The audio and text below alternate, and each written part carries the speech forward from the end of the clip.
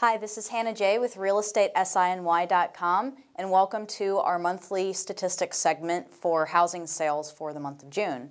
I'm here with Anthony Licciardello, the co-owner of our company. How are you doing? I'm doing well, thank you. You're welcome. I'm doing well too. I wanted to start out by talking about the sales increase from the past month. May of this year saw a 6% sales increase from the prior month in April. So discuss what this means.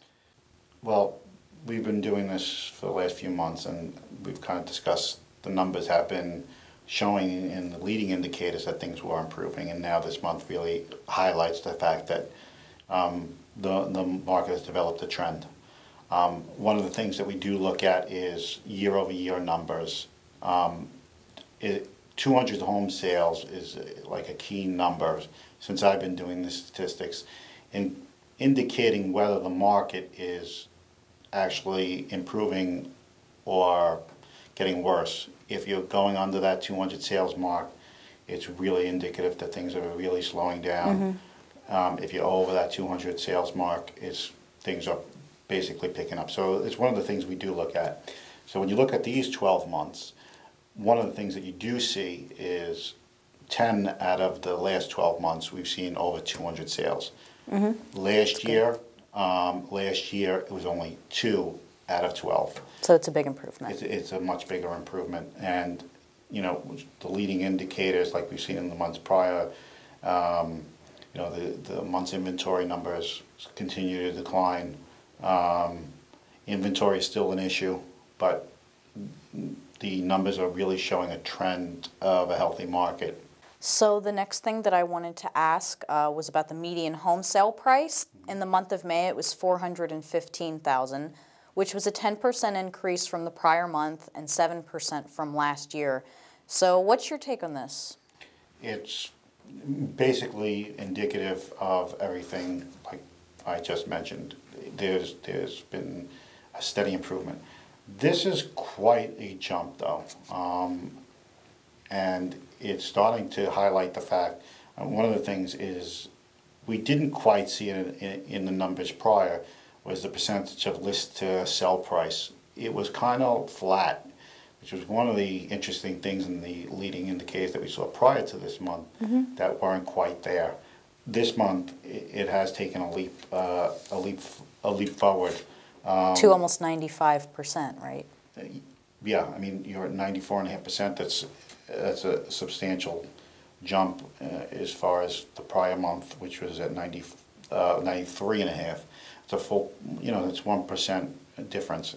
And that's pretty significant. Um, it's, it's definitely showing that buyers are willing to come up to the, coming up, come up higher on what they're what they're bidding on, mm-hmm. and it's one of those things. While we didn't see it in the leading indicators prior, we are seeing it this month, and but the percentage of gains, four hundred and fifteen thousand on the median home sale price is only the second time this year that it's gotten to that point. Um, mm-hmm.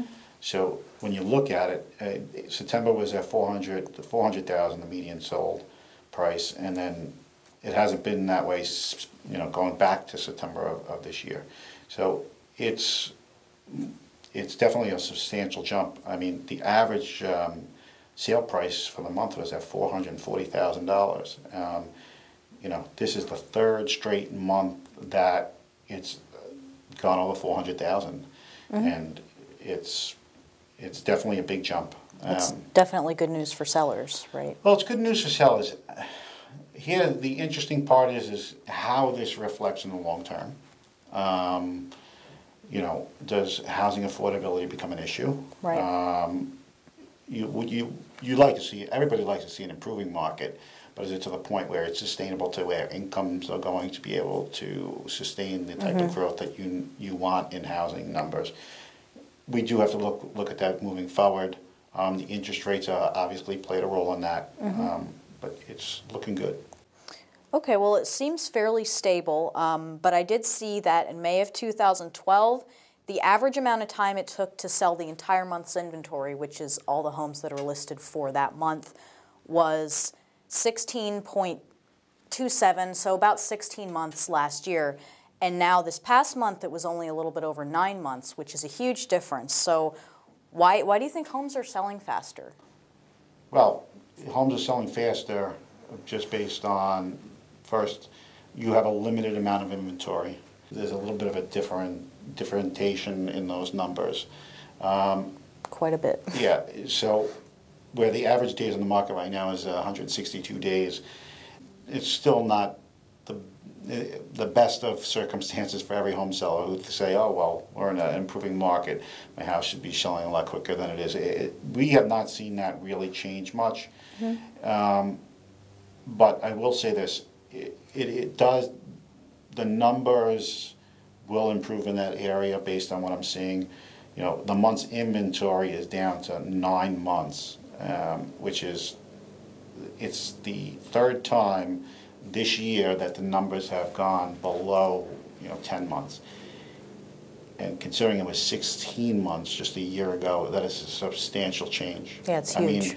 By any measure, I mean, it's, it's dramatic. Um, one of the things is, is that constraints remain, um, a problem within, in the real estate market right now. There's limited inventory and little, limited choice for people looking to purchase in a lot of areas. But, um, it does indicate in the numbers that the current inventory is up, uh, about ninety homes from the prior month. So, there are some, there are sellers who are now starting to get the idea it is the time to sell again and, and, you know, the economic confidence numbers, you know, in the latest report, since two thousand eight, consumer confidence is at its highest. So really, it's showing that people are much more confident in their ability to purchase another home. And you need confidence in the job especially, um, i- i- in an individual's li- living circumstances to say, okay, it's time to move. Um, and I feel confident that if I do move, I'm gonna be able to meet the expenses of that move. Um, so it's, the, the consumer confidence, the housing market all seems to be moving in line, that things are improving. And for sellers out there, I think it's, it's really a good time because the parameters are, while they are good now, you know, there, there are the long-term things that probably will be more prevalent, that having a long-term sustained growth, you know, all the indicators aren't there quite yet, that the, that this is gonna be anything long-lived in terms of the type of growth that you've seen in the last month.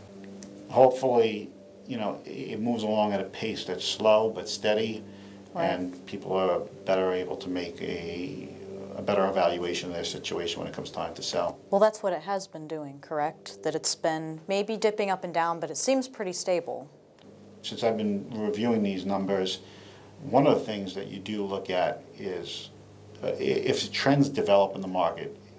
Um, Over the last six years, there is, there's no doubt um, where we saw two months of very good numbers and then they would pull back and it was very, very inconsistent. Some of the tax credit stuff kind of made some market fluctuations and there wasn't any really steady pattern to develop. Um, this is the first sustained, um, in all, across the board, the first sustained growth rate we've seen in real estate since the crisis broke. So there's definitely a, a sure trend that things have improved considerably. Again, the key is, is how long that trend Can we can maintain continue at this? this rate. Um, You know, I have some questions about that. Okay. Well, perhaps for another time. This wraps up our statistics segment for this month.